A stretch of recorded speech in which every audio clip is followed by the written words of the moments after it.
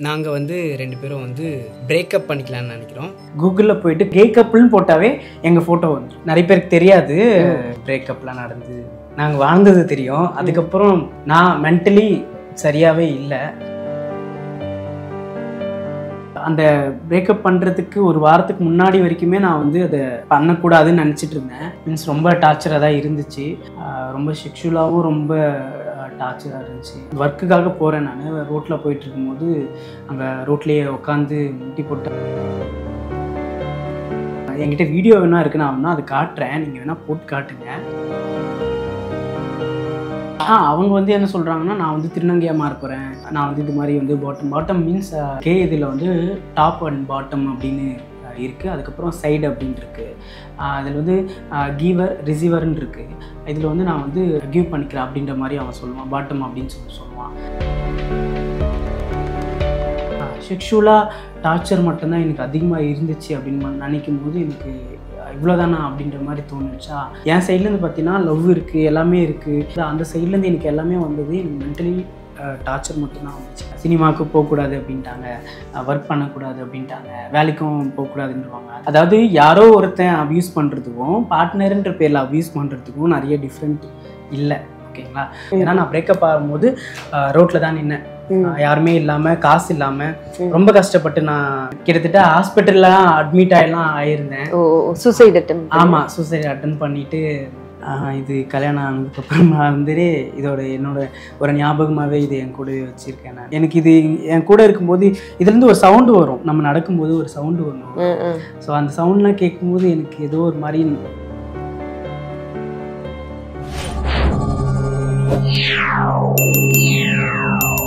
வணக்கம் கிருஷ்ணா. வணக்கம். எப்படி இருக்கீங்க? நான் நல்லா இருக்கேன். ரொம்ப வருஷம் கழிச்சு உங்களை பார்க்குறோம் அப்படின்னு நினைக்கிறேன். இப்போ வாழ்க்கை எப்படி போயிட்டு இருக்கு இப்போ தான் ஒரு மாதிரி நல்லா போயிட்டுருக்கு எனக்கு. இல்லை இப்போதான் நல்லா போயிட்டு இருக்குன்னா இதுக்கு முன்னாடி நல்லா இல்லையோ? இல்லை இதுக்கு முன்னாடினா நிறைய பேருக்கு தெரியாது. சம் எனக்கு பிரேக்கப்லாம் நடந்து நாங்கள் வாழ்ந்தது தெரியும். அதுக்கப்புறம் இந்த ஒன் இயராக நான் வந்து சோஷியல் மீடியாவில் அந்த அளவுக்கு ஆக்டிவாக இல்லை.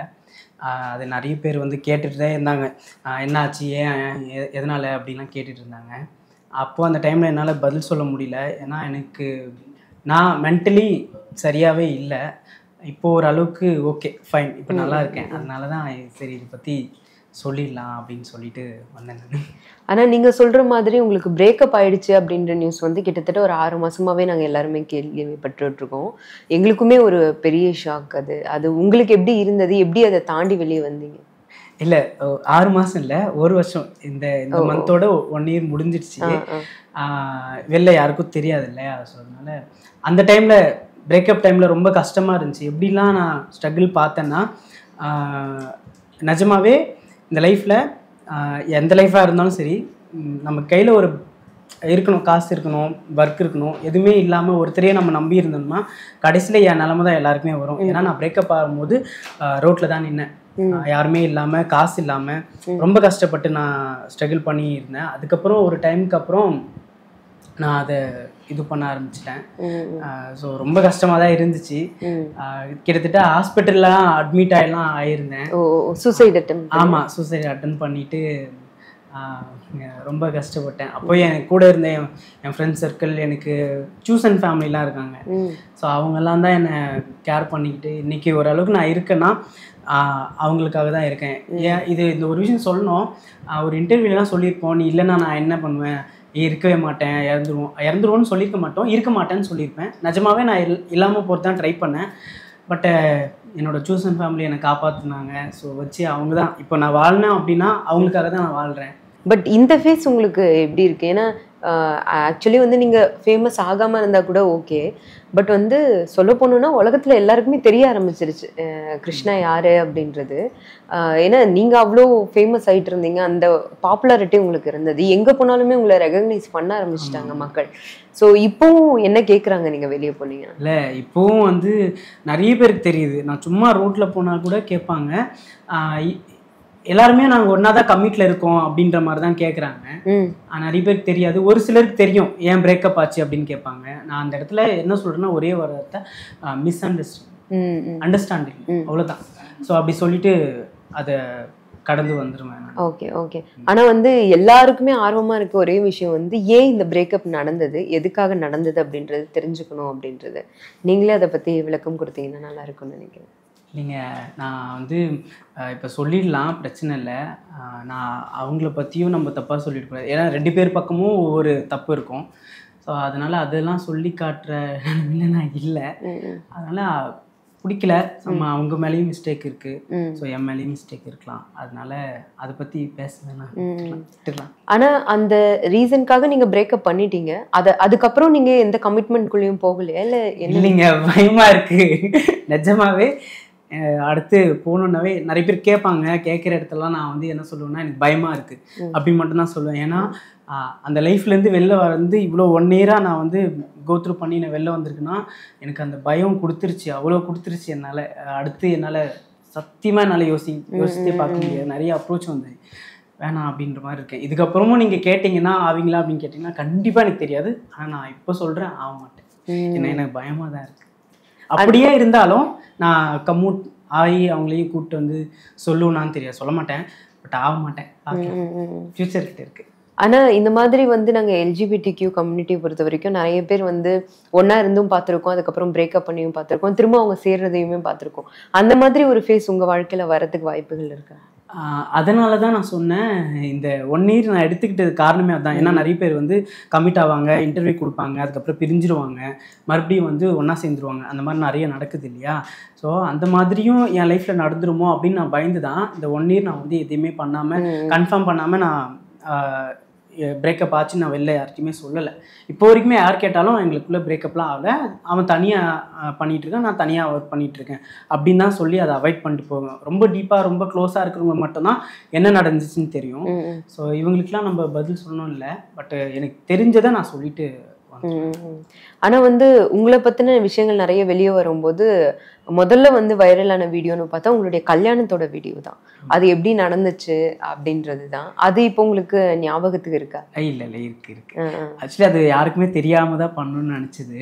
அந்த டைமில் கூட இந்த ஃப்ரெண்ட்ஸ்லாம் சொல்லிட்டேன் எதுவும் ஃபோட்டோ வீடியோ எடுக்கக்கூடாதுன்னு. அதை எடுக்க மாட்டேன்னு சொல்லிட்டு என்ன பண்ணிட்டாங்க? ஃபேஸ்புக்கில் லைவ் போட்டாங்க. லைவ் போட்டு அந்த வீடியோ போட்டுட்டாங்க. அந்த வீடியோ எடுத்து வேற ஒரு சேனலுக்காரங்க எடுத்து போட்டு அது வைரல் ஆகி கூகுளில் போயிட்டு காந்தி கிருஷ்ணா அப்படின்னு போட்டு கப்புள்னு போட்டாவே கே கப்புள்னு போட்டாவே எங்கள் ஃபோட்டோ வந்துடும் ஸோ அப்படிதான் வந்து வைரல் ஆச்சு. ம், ம். ஆனா இப்போ அந்த வீடியோ பார்க்கும்போது உங்களுக்கு என்ன தோணும்?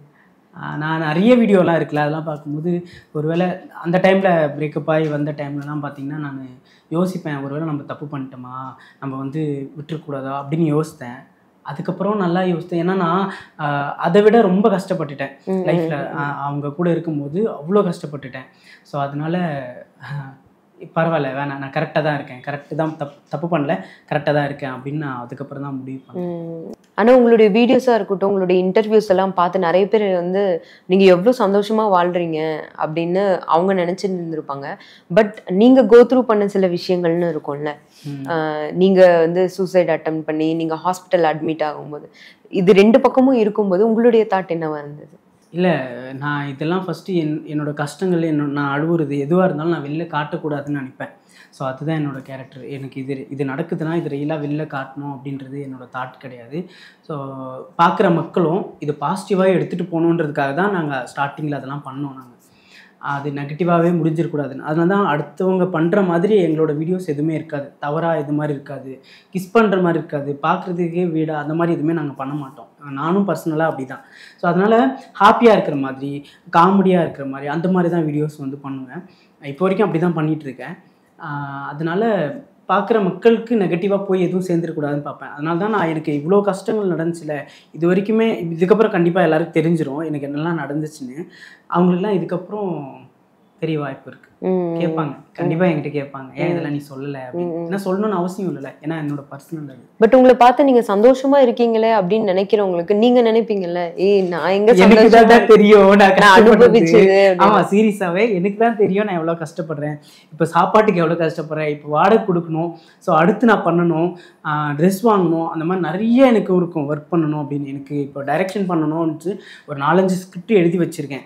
ஸோ எனக்கு சினிமாவில் டைரக்ஷன் தான் இன்ட்ரெஸ்ட்டில் இருக்கேன் இருக்குது இப்போது ஸோ அதனால் அது பண்ணலான்னு இருக்கேன். அதுக்கு எல்லாமே காசு தான் வேணும். இங்கே எல்லாத்துக்குமே காசு தான் வேணும். அது போக என் ஃபேமிலி சைட்லேருந்து காசு கேட்குறாங்க ஸோ எல்லாமே காசுன்னும் போது ஸோ அதையும் நான் பார்க்கணும் இதையும் நான் பார்க்கணும் அப்படின் போது எனக்கு தான் தெரியும் என்னோட கஷ்டம் என்னென்னு. ஆனால் நீங்கள் வந்து இப்போ சொல்கிறீங்க ஒன் இயர் ஆயிடுச்சு பிரேக்கப் பண்ணி. நாங்கள் இந்த கல்யாணத்தை வந்து ஒன்றும் இல்லாமல் ஆயிடுச்சு அப்படின்னுலாம் சொல்லும்போது பட் இந்த ரிலேஷன்ஷிப்பில் இருந்ததுக்கான ஒரே ஒரு ஆதாரமா என்கிட்ட இருக்கு. அதை பார்த்து நான் எப்பவுமே சந்தோஷப்பட்டுக்கிறேன் அப்படின்ற விஷயங்கள் ஏதாவது உங்ககிட்ட இருக்கா? அப்படின்னா என்னோட வெட்டி தான். இது கல்யாணம் ஆனதுக்கப்புறம் நான் வந்து இதோட என்னோட ஒரு ஞாபகமாகவே இது என் கூட வச்சுருக்கேன் நான். அதை கழட்டணும்னு நீங்க என்னைக்குமே யோசிச்சது இல்லையா? எனக்கு இது என் கூட இருக்கும்போது இதுலேருந்து ஒரு சவுண்டு வரும். நம்ம நடக்கும்போது ஒரு சவுண்டு வரும். ஸோ அந்த சவுண்ட்லாம் கேட்கும்போது எனக்கு ஏதோ ஒரு மாதிரி பாசிட்டிவாக ஃபீல் ஆகும். ஓகே நீ நீ நல்லா தான் இருக்க. ஏன்னா நான் இது நடக்கிறோம். நான் நடக்கிறேன். ஸோ எனக்கு கால் இருக்குது இதை வச்சு நான் கண்டிப்பாக வந்து அடுத்த லெவலுக்கு போவேன். இது எனக்கு ஒரு பாசிட்டிவ் வைப் எப்பவுமே கொடுத்துட்டே இருக்கும். ஸோ எனக்கே தெரியாமல் நான் ஒரு மாதிரி நெகட்டிவாகவோ ஃபீலாகவோ இருக்கும்போது நடக்கும்போது அந்த சவுண்ட் ஒன்று வரும். ஸோ அது வரும்போது எனக்கு ஹாப்பியாக இருக்கும். இது அவனை நினச்சி அப்படின்றது இல்லை. பொதுவாக எனக்கு இது கல்யாணம் ஆனதுலேருந்தே இது இருக்குது. இப்போ நீங்க கல்யாணம் ஆகும்போது வந்து அதிகமா வந்து பேசப்பட்ட ஒரு விஷயம்னா வந்து தாலி கட்டினது தான் ரிங்கு மாத்தினது. அது நம்ம இன்டர்வியூஸ்லாம் நிறைய பார்த்துருப்போம். இப்போ அது என்ன ஆச்சு? அது அதெல்லாம் வந்து அவன் அவங்ககிட்டே தான் இருக்குது எல்லாமே. யூடியூப்லேருந்து சம்பாதிச்சது அது கோல்டெல்லாம் வாங்கி வச்சுருந்தோம். அது அதுக்கப்புறம் எல்லாமே அவங்ககிட்ட தான் இருக்குது அதெல்லாம் வந்து ஒரு டைமில் பசிக்குது சாப்பிட்ணும் காசு இல்லைன்னு கேட்டோன்னே நான் அதெல்லாம் கொடுத்துட்டேன். அவங்ககிட்டே கொடுத்துட்டேன். அந்த கோல்டு கூட ஃப்ரெண்ட் சர்க்கிள்லேருந்து நான் கேள்விப்பட்டேன். அவன் அதை வச்சு சாப்பிட்டுட்டான் அப்படின்னு சொன்னாங்க. சரி ஃபைன் ரிங் எல்லாமே கொடுத்துட்டீங்களா? ரிங் எல்லாமே அது போயிடுச்சு. ஸோ எல்லாமே கொடுத்துட்டு வந்துட்டேன். எதுவுமே அவனோட திங்ஸ்னு என்கிட்ட எதுவுமே கிடையாது. நாங்கள் டபுளாலாம் ஷர்ட் போடுவோம்ல அது எல்லாமே அவனோட இதுலேருந்து வாங்கினால அவங்ககிட்டயே விட்டுட்டு வந்தேன். எல்லாத்தையும் எல்லாமே விட்டு நான் வரும்போது வெறும் நானாக தான் வெளில வந்தேன். ஸோ என்னோடது வாங்கின காசில் தான் நான் வெளில வந்தேன். அதுக்கப்புறம் இப்போ இருக்கிறது எல்லாமே நான் என்னோடது. என்னோடதுல அப்படின்னு நம்ம நினைக்கும் போது ஒரு மாதிரி பெருமையாக தான் இருக்குது ஓகே உன்னாலையும் பண்ண முடியும் அப்படின்னு. அதனால அவனோட ஞாபகமும் எதுவுமே இருக்கும். சொல்லப்போனால் என்னோட என் பாட்டி எனக்கு விட்டு போன திங்ஸ் எல்லாமே நான் அங்கேயே அவங்ககிட்டயே கொடுத்துட்டு வந்துட்டேன். ஓ ஓ. கட்டில் எல்லாம் நான் வாங்கினது. ஸோ இருக்கிற டிவி இது எல்லாமே நான் வந்து வாங்கி வச்சிருந்தேன். எல்லாமே வந்து அவங்கயே கொடுத்துட்டு வந்தேன் பிரேக்கப்ல இருந்து நீங்க வெளியே வந்துட்டீங்க. நீங்கள் வந்து அந்த பிரேக்கப் பண்ணும்போது சந்தித்த சவால்கள்லாம் என்ன? எவ்வளோ கஷ்டப்பட்டீங்க? அதுலேருந்து வெளியே வர. இல்லை நிறையவே பார்த்துட்டேங்க. என்னென்னா எனக்கு வீடு கிடைக்கல. ஸோ தங்குறதுக்கு சாப்பிட்றதுக்கு நான் ஒரு ஃப்ரெண்டுன்னு சொல்லி போய் ஒரு ஒருத்தரோட வீட்டில் இருந்தேன். அங்கேயும் எனக்கு பயங்கரமான அபியூஸ் என்னென்னா நான் உனக்கு இடம் கொடுக்குறேன்ல நீ இதனால என் கூட படுக்கணும்ல. அந்த மாதிரிலாம் வந்து டாக் பண்ணதுனால அங்கேருந்து வெளில வந்துட்டேன். வெளில வந்து அதுக்கப்புறம் எனக்கு நிறைய இருந்துச்சு. பட்டு நான் ஒரு இடத்துல போய் சேர்ந்தல என்னோட நான் எனக்கு ஒரு ரூம் கிடச்சிது அங்கே போய் ரூமில் போய் சேர்ந்தேன். அங்கே எல்லாமே ஸ்ட்ரைட் பீப்புள்ஸ் தான். அவங்க தான் என்னை வந்து நல்லா பார்த்துக்கிட்டாங்க ஸோ அவங்க மூலியமாக தான் நான் இதுலேருந்து வெளியிலே வந்தேன். பிரேக்கப்லேருந்து இவ்வளோ விஷயம் அவங்க இல்லைன்னா நான் என்ன ஆயிருப்பேன்னு எனக்கு தெரியல. ஏன்னா அதனால தான் நான் சூசைடை பண்ண ட்ரை பண்ணேன். பட் அதுக்கப்புறம் நான் அவங்களால வெளில வந்ததுக்கப்புறம் இப்போ ஓரளவுக்கு ஃப்ரீயாக இருக்கேன். அது நான் அவங்களுக்கு ரொம்ப தேங்க் பண்ணுறேன் பட் இப்போ நீங்க வந்து ஸ்ட்ரைட் பீப்புள பாக்குற அந்த பார்வை மாறி இருக்கா? ஆமாங்க. நான் ஏன்னா அதுக்கு முன்னாடிலாம் ஸ்ட்ரைட் பீப்புள் கூட அந்த அளவுக்கு நான் கம்யூனிகேஷன்லாம் கிடையாது. பயப்படுவேன். ஏன்னா எனக்கு சின்ன வயசுலேருந்து நடந்ததுனால அவங்களுக்கு பயப்படுவேன். ஆனால் இந்த விஷயம் பார்க்கும்போது ஓகே ஸ்ட்ரைட் பீப்புளையும் நல்லவங்க இருக்காங்க. அப்படின்னு மாதிரி எனக்கு அப்புறமா தான் தெரிஞ்சிச்சு. ஸோ அவங்களால தான் அப்படின்னும் போது ஓகே நல்லவங்களும் இருக்காங்கடா அப்படின்னு பார்க்கும்போது நான் இப்போ நம்பி இப்போ அதிகமாக கம்யூனிட்டியை விட ஸ்ட்ரைட் பீப்புள் கூட தான் நான் நிறைய ட்ராவல் பண்ணேன். ம், ம். ஆனா வந்து நீங்க அந்த பிரேக்கப்ல இருந்து அஹ், வெளியே வந்ததுக்கு அப்புறமா மென்டலி எந்த மாதிரி விஷயங்கள்லாம் உங்களுக்கு நடந்தது? அதுல இருந்து வெளியே வர முடியாத அளவுக்கு உங்களை பாதிச்ச விஷயங்கள் ஏதாவது இருக்கா? பாதிச்சதுன்னா அந்த நினைவுகள்லாம் இருக்கும்ல. ஏன்னா நான் இருந்தது எல்லாமே ட்ரூவாக இருந்தது அந்த டைமில் ஏன் நான் வந்து அவனை பற்றி தப்பாக சொல்லக்கூடாது அப்படின்னு பார்க்குறேன்னா அந்த நேரத்தில் நான் நிறைய ட்ரூவாக இருந்தனால இப்போ எல்லாத்தையும் சொல்லிட்டேன்னா அந்த லவ்வில் நான் உண்மையாக இல்லாமல் போயிட்டுருக்கோம்ல. அதனால தான் நான் அவங்கள பற்றி நான் எதுவுமே சொல்லலை. வேணாம்.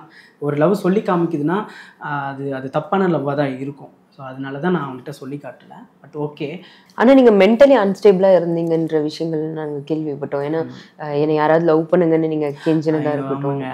ஹாஸ்பிட்டலில் இருக்கும்போது சீரியஸாக இருக்கும்போது எந்த அளவுக்கு நான் மென்டலாக இருந்தேன்னா என் கூட இருந்த பீப்புளெலாம் எல்லாரையும் அவங்க கையை பிடிச்சிட்டு அன்றைக்கி ஹாஸ்பிட்டலில் கேட்குறேன் நீங்கள் என்ன லவ் பண்ணுவீங்களா நீங்கள் என்ன பார்த்துப்பீங்களா? எனக்கு யாராவது லவ் பண்ணுங்களேன். யாராவது லவ் பண்ணுங்களேன். அப்படின்னு சொல்லிட்டு அழுதேன் நான்.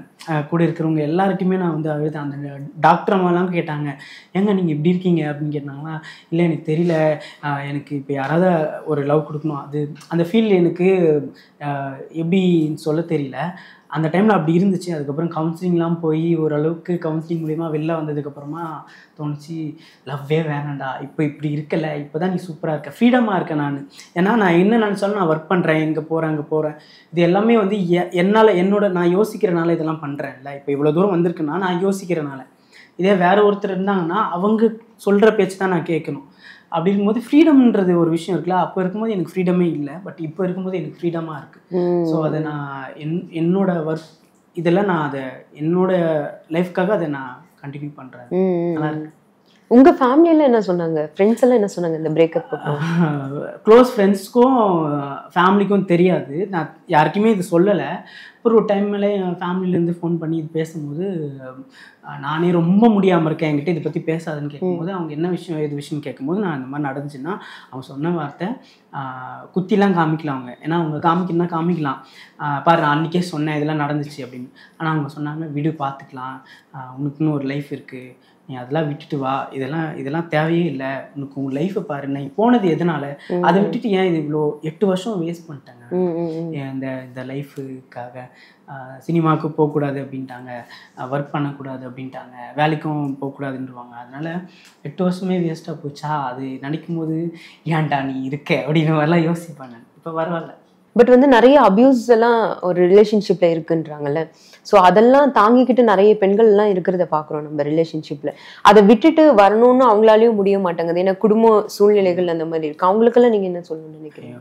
ஆக்சுவலி அந்த மாதிரி எனக்கும் இருந்துச்சு அப்யூஸ் இந்த மாதிரி. ஒரு அதாவது யாரோ ஒருத்தன் அப்யூஸ் பண்ணுறதுக்கும் பார்ட்னருன்ற பேரில் அப்யூஸ் பண்ணுறதுக்கும் நிறைய டிஃப்ரெண்ட் இல்லை ஓகேங்களா ஸோ அந்த அப்யூஸ்லாம் தாண்டி ஏன் இருக்காங்க அப்படின்னு கேட்டிங்கன்னா நம்ம இந்த லைஃப் நம்ம கண் போய் ஆகணும் லைஃப் லாங் போய் ஆகணும் ஆனால் வயசானதுக்கப்புறம் எனக்கு ஒரு பார்ட்னர் எனக்கு கூட யாராவது ஒருத்தர் இருக்கணும்னு நம்ம நினைப்பிಲ್ಲ அதில் பார்ட்னராக இருக்காங்க. ஸோ அந்த பர்சன் கூட நம்ம நீ என்ன அபியூஸ்னாலும் பண்ணு நான் கூட இருக்கேன் எல்லாமே அக்செப்ட் பண்ணிக்கிறேன் நீ என்ன டார்ச்சர்னாலும் பண்ணி இருக்கிற காரணம் கடைசி காலத்தில் கூட இருக்கிறதுக்கு ஒரு பர்சன் வேணும்னு தான். ஆனால் அந்த அபியூஸும் அந்த டார்ச்சரும் ரொம்ப மென்டலி உடம்பு அளவுக்கும் மென்டலி மைண்ட் அளவுக்கும் கொண்டு போயிடுச்சுன்னா அவங்க சூசைட் பண்ணுற லெவலுக்கு போயிடுவாங்க. நிறைய பேர் பண்ணுறாங்க. ஸோ அது வேணாமே. அதை தான் நான் யோசித்தேன். ஏன்னா இது ஒரு பத்து வருஷம் கழிச்சு இதே பிரேக்கப் பத்து வருஷம் கழிச்சு எனக்கு நடந்துச்சுன்னா அந்த அந்த ஏஜில் எனக்கு வயசு போயிடும். எனக்கு இப்போ என்ன இப்போது டுவெண்ட்டி சிக்ஸ் டுவெண்ட்டி செவன் ஆயிடுச்சா? இதுக்கப்புறம் ஒரு பத்து வருஷம்னா எனக்கு முப்பத்தி அஞ்சு அந்த மாதிரி ஆகிடும் அப்போ ஆகும்போது எனக்கு யாரும் கூட இருக்க மாட்டாங்க. அதுக்கு நான் இப்போவே முடிவு பண்ணி நான் வெளில வந்துட்டேன்னா நான் நிறைய பேர் சம்பாதிச்சு வச்சுக்கிட்டேன்னா. லைஃப்பில் ஒரு நாலு பேராவது என்னை தூக்கி போட வருவாங்க. அது போதும் அப்படின்ற ஒரு மைண்ட் தாட்டுக்கு நான் வந்துட்டேன். பட் நான் அந்த பிரேக்கப் பண்ணுறதுக்கு ஒரு வாரத்துக்கு முன்னாடி வரைக்குமே நான் வந்து அதை பண்ணக்கூடாதுன்னு நினச்சிட்டு இருந்தேன். அது அன்னைக்கு நைட்டு மீன்ஸ் ரொம்ப டார்ச்சராக தான் இருந்துச்சு. ரொம்ப செக்ஷுவலாகவும் ரொம்ப டார்ச்சராக இருந்துச்சு. அதுக்கப்புறம் அன்னைக்கு நான் ஒர்க் முடிச்சுட்டு ஒர்க்குக்காக போகிறேன் நான். ரோட்டில் போயிட்டுருக்கும்போது அங்கே ரோட்லேயே உட்காந்து முட்டி போட்டு அழுகுறேன் அப்போ தான் நான் யோசிக்கிறேன் என்னெல்லாம் எனக்கு நடந்துச்சு அப்படின்னு யோசிக்கும் போது எல்லாமே வந்து செக்ஷுவலாக டார்ச்சர் மட்டும்தான் எனக்கு அதிகமாக இருந்துச்சு அப்படின்னு நினைக்கும் போது எனக்கு இவ்வளோதானா அப்படின்ற மாதிரி தோணுச்சா? இதுக்கு எதுக்குடா இருக்கணும் அப்படின்னு மாதிரி நினச்சேன். ஏன்னா இதில் எதுவுமே வந்து என் அவங்க சைட்லேருந்து என் சைட்லேருந்து பார்த்தீங்கன்னா லவ் இருக்குது எல்லாமே இருக்குது ஒரு ஃபேமிலியாக இருக்கிறதுக்கான எல்லா விஷயத்தையுமே நான் கொடுத்துருக்கும் போது அந்த சைட்லேருந்து எனக்கு எல்லாமே வந்தது எனக்கு மென்டலி டார்ச்சர் மட்டும்தான் வந்துச்சு. ஸோ அதனால் இதை கண்டினியூ பண்ணுமான்னு நான் அன்றைக்கி தான் முடிவு பண்ணேன். முடிவு பண்ணிவிட்டு அன்னைக்கு ஒரு ஷூட்டில் என்னோட ரிங் வந்து கட்டி கொடுக்குற மாதிரி இருந்துச்சு. அன்றைக்கி முடிவு பண்ணது தான் ஸோ பிரிஞ்சிடலாம். அதுக்கப்புறமா நிறைய ஸ்ட்ரகிள்லாம் இருந்துச்சு. அதுக்கப்புறம் பார்த்து எப்படியோ இவ்வளோ தூரம் வந்திருக்கேனாவே நான் அது பெரிய விஷயம். இப்போ நான் சீரியஸாக நான் வாழ்கிறேன்னா அது என்னோட சூஸ் அண்ட் ஃபேமிலிக்காக ம், ம், ம். ஆனா வந்து நீங்க வெளியே வந்துட்டீங்க ஓகே பட் இதை வந்து முன்னாடி இருக்க பார்ட்னரும் வந்து அக்செப்ட் பண்ணிக்கணுன்ற விஷயம் இருக்குல்ல. அவங்க எப்படி அக்செப்ட் பண்ணிக்கிட்டாங்க? இப்போ வரைக்கும் அக்செப்ட் பண்ணிக்கிட்டாங்களா? இல்ல உங்களுக்கு ஏதாவது டார்ச்சர் இல்ல அவங்க இப்போ வரைக்குமே அக்செப்ட் பண்ணல. அவங்களுக்கு இப்பவும் வேணும்னு தான் சொல்லுவாங்க. நிறைய பேர்கிட்ட சொல்லிலாம் அனுப்புவாங்க. எனக்கு விருப்பம் இல்லை அப்படின்னு நான் சொல்லிடுவேன் நான் மறுபடியும் மறுபடியும் தெரிஞ்சே வந்து அதில் போய் மாட்டிக்க விரும்பல நான். அதனால வேணாம் அப்படின்னு நான் வந்து சொல்லிடுவேன் கேட்டே இருப்பாங்க. பட் வெளியில் சொல்லும் போது அவங்க வந்து வேற மாதிரி சொல்லுவாங்க நான் மிஸ் பண்ணுறேன் அப்படிலாம் சொல்லுவாங்க. பட் என்கிட்ட பர்சனலாக பேசும்போது வேற மாதிரி ஒரு ஃபேஸ் இருக்கும். அந்த கொடூரமாலாம் பேசுவான் என்கிட்ட. அது அதெல்லாம் கேட்கும்போது ஒரு மாதிரி கஷ்டமா இருக்கும். அப்புறம் பிளாக் பண்ணி விட்டுருவேன். அதுக்கப்புறம் யார் மூலியமா கேட்டு மறுபடியும் அன்பிளாக் பண்ணுவாங்க சொல்லுவாங்க. அதுக்கப்புறம் அப்படி இப்படி போகும். அதனால நான் மறந்துட்டேன். இப்போ டோட்டலாகவே என் மைண்டில் என் மனசுலையும் அந்த மாதிரி எந்த தாட்டும் கிடையாது. ஆனா அவங்க பக்கத்துல இருந்து உங்க மேல ஒரு அலிகேஷன் வைப்பாங்கல்ல? அது என்னவா இருக்கு? ஆ வேணும் தான் அப்படி தான் இருக்கு மறுபடியும் அதனால என்னன்னா இல்ல இப்போ உங்க பக்கத்து நியாயத்தெல்லாம் சொல்றீங்களா? அவங்க சில விஷயங்கள்லாம் பண்ணாங்கன்னும் போது அவங்க என்ன சொல்றாங்க உங்க மேல ஆ அவங்க வந்து என்ன சொல்கிறாங்கன்னா நான் வந்து திருநங்கையாக மாற போகிறேன் நான் நான் வந்து இது மாதிரி வந்து பாட்டம் பாட்டம் மீன்ஸ் இது கே இதில் வந்து டாப் அண்ட் பாட்டம் அப்படின்னு இருக்குது அதுக்கப்புறம் சைடு அப்படின்ட்டு இருக்குது அதில் வந்து கீவர் ரிசீவர்னு இருக்குது இதில் வந்து நான் வந்து ரிசீவ் கிவ் பண்ணிக்கிறேன் அப்படின்ற மாதிரி அவன் சொல்லுவான் பாட்டம் அப்படின்னு சொல்லி சொல்லுவான். அது வந்து ரிலேஷன்ஷிப்பில் நாங்கள் ஓப்பனாகவே நான் சொல்லியிருக்கேன். ரெண்டு பேருமே வந்து ஈக்குவல் தான். இதில் செக்ஷுவலாக அப்படின்னு நான் சொல்லியிருப்பேன் நான். அவன் வந்து இந்த காரணத்தை வச்சு சொல்கிறான் நான் என்ன கே கேட்டேன்னா அவங்ககிட்டயே பர்சனலாக கேட்டேன். மூணு வருஷமாக ரிலேஷன்ஷிப்பில் இருந்தோம். அந்த மூணு வருஷமாக தெரியல நான் டிரான்ஸெண்டராக மாற போகிறேன் அப்படின்ற மாதிரி அவன் சொன்னான்ல. இந்த மூணு வருஷமாக தெரியல நான் டிரான்ஸெண்டராக மாற போகிறேன்னான்ட்டு நான் பாட்டமான்றது அவனுக்கு இந்த மூணு வருஷம் தெரியல. என் கூட படுக்கும்போதெல்லாம் அவனுக்கு தெரியல போல். இப்போ வந்து பிரேக்கப் பண்ணி மூணு மாதம் கழிச்சு தான் அவன் யோசித்து சொல்கிறான் இந்த மாதிரி ஓ இவன் வந்து இப்படி மாற போகிறான் அதனால தான் அப்படின்னு. இதெல்லாம் ஒரு ரீசன் மாதிரி எனக்கு தெரியல. இல்ல உங்களுக்கு ஏதாவது ஐடியா இருக்கா? டிரான்ஜெண்டரா மாற இல்லை எனக்கு அந்த மாதிரி ஐடியா கிடையாது. ஐடியா அந்த மாதிரி ஐடியா இருந்தால் என் லுக் வைஸே வேற மாதிரி இருக்கும்.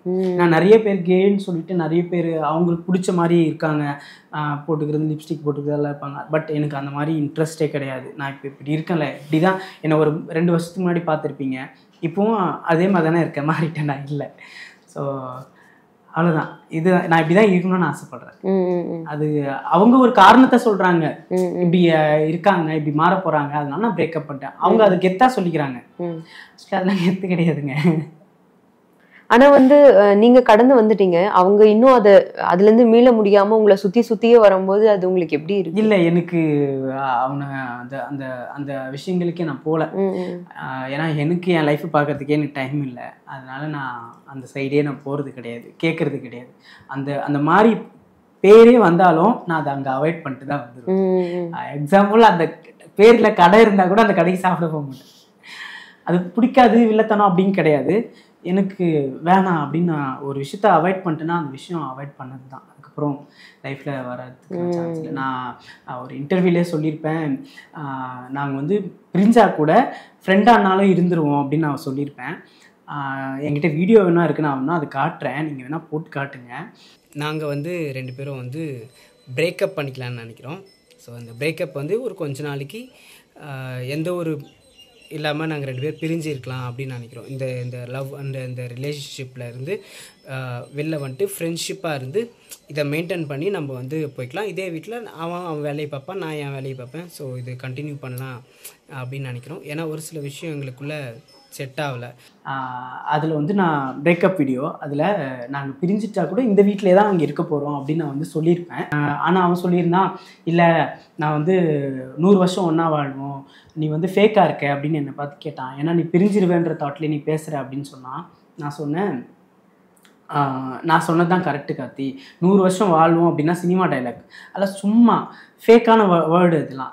ஆனால் பிரிஞ்சா கூட ஃப்ரெண்டாக இருப்போம்னு சொல்கிறேன்ல அதுதான் உண்மையான வேர்டு ஏன்னா அதுதானே இப்போ ஒரு ஸ்ட்ரைட் கப்பலே இருந்தால் கூட எனக்கு தெரிஞ்சு நிறைய பேர் இருக்காங்க. டிவர்ஸ் ஆகி இன்னமும் அவங்க ஒரு ரிலேஷன்ஷிப்பில் இருக்காங்க ஃப்ரெண்டாக இருக்காங்க. அது மாதிரி நான் நிறைய பேர் பார்த்து ஏன் இங்கேயே போனோம்? என்னோட எக்ஸே வந்து பார்த்தீங்கன்னா என்கிட்ட இப்போ வரைக்கும் ஃப்ரெண்டாக தான் பேசிகிட்டு இருக்காங்க. ஆனால் ஃபோனில் தான் பேசுவோம். நேரில் கூட பேசுவோம். எதனா கஷ்டம்னா ஷேர் பண்ணிப்போம். ஸோ ஃப்ரெண்டாக இருக்கிறது பெட்டராக இருக்குமோன்னு எனக்கு ஃபீல் ஆச்சு. அப்போவே எனக்கு தோணுனால அப்போவே நான் சொல்லியிருந்தேன். ஸோ அது அவங்க சைட்லேருந்து வரும்போது வேறு மாதிரி இருந்துச்சு. ஸோ அது கரெக்டாக எனக்கு ஃபீல் ஆகுது.